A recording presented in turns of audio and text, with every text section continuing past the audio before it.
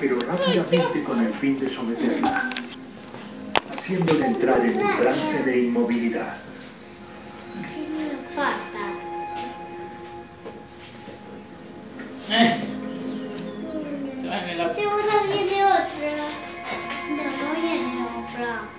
El macho usa unas especies de ganchos en sus patas delanteras llamados espolones filiales para mantener a raya a la hembra en caso de que decida ponerse en lugar de aparearse con él.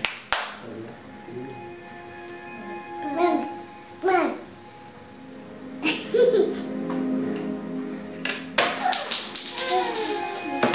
¿Qué cuando se está peleando? Ay, qué ¿Qué es eso? ¿Tienes hambre, tía? El macho tiene órganos especialmente adaptados llamados que contienen una pequeña cantidad de seda recubierta con su esperma. Mami, mamá. Mientras mantiene cautiva a la hembra, deposita rápidamente la bolsa de esperma en los órganos reproductivos de la hembra.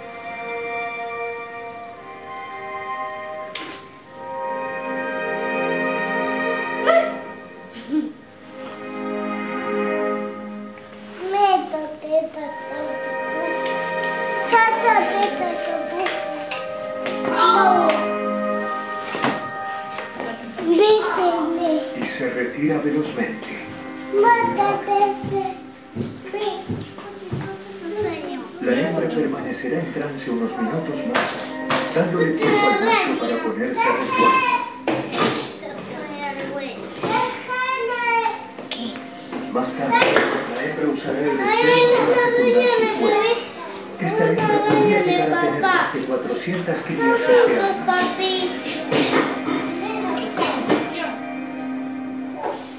El macho nuevamente se pone en movimiento para encontrar su próxima madriguera.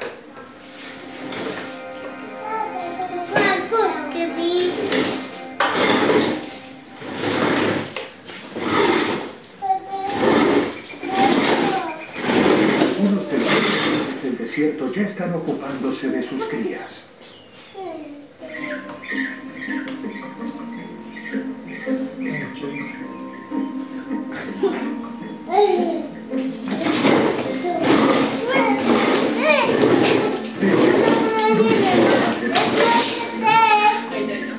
Entre los ñatúes, el padre es quien hace casi todo el trabajo.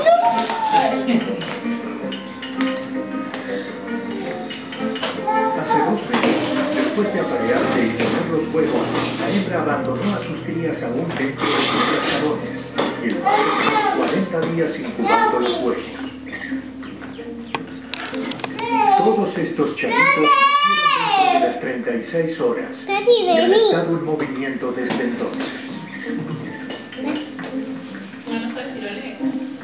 Como los ñandúes no pueden volar, deben desplazarse continuamente para evitar a los depredadores, manteniéndose todos juntos y comunicándose con pitidos cuando uno se queda retrasado. Hola. Cuando terminan de Tati, vos quédate aquí pueden mirando alcanzar velocidades de hasta 60 Tati, kilómetros bájate por que voy a mirar.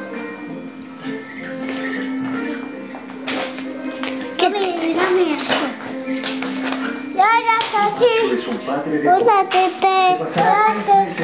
crías, guiándolos a través de la estepa y enseñándoles a alimentarse de raíces, semillas y hojas. Oh. Ah.